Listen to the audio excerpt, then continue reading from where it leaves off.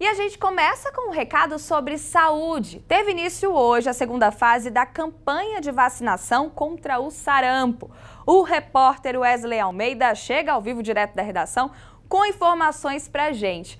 Wesley, essa fase da campanha aí tem como foco um público que a gente não está muito acostumado a falar dele não, né? Boa tarde.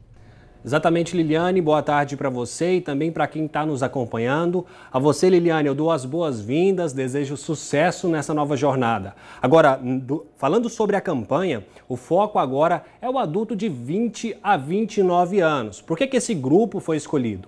Porque apenas 35% das pessoas que têm essa faixa de idade estão protegidas contra o sarampo. É o grupo de idade que menos se vacinou. Então, portanto, se você tem entre 20 e 29 anos, procure um posto de saúde para receber aí essa vacina. Mas é importante falar também que nem todo mundo precisa se vacinar.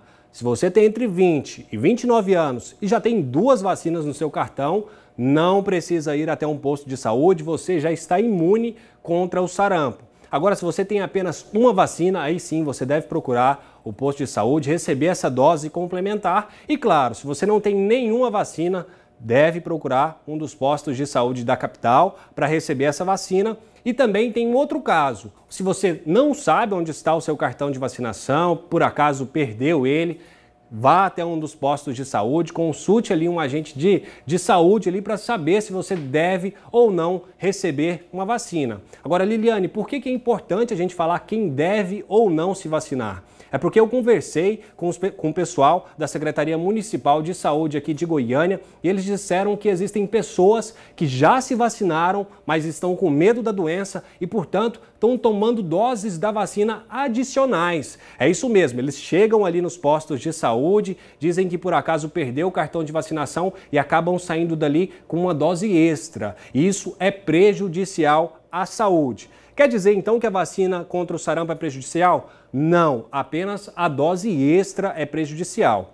Então é importante que você esteja atento a quem precisa ou não se vacinar. A campanha, então, reforçando, vai do dia 18 até o dia 30. O dia D da campanha vai ser no dia 30, que é ali onde a mobilização acontece de uma forma mais forte e todo mundo pode se vacinar, diferente da campanha anterior, onde somente as crianças ali recebiam a vacina contra o sarampo. Dessa vez, o foco são as pessoas de 20 a 29 anos, mas se você tem um filho que não se vacinou, se você tem mais de 30 anos e não se vacinou, pode ficar tranquilo, pode comparecer a um posto de saúde que você também vai sair dali com a vacina. Existem 71 postos de saúde, melhor dizendo, 71 postos de saúde aqui na capital que estão devidamente abastecidos e você vai lá e vai encontrar a vacina com certeza. É importante se vacinar para ficar livre dessa doença que mata, né, né Liliane?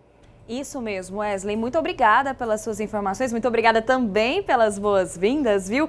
Porque falando de saúde, a gente tem mesmo que esclarecer quem precisa da vacina, a importância, inclusive, acabar com todo o alerta, todo o pânico desnecessário sobre esse assunto, né?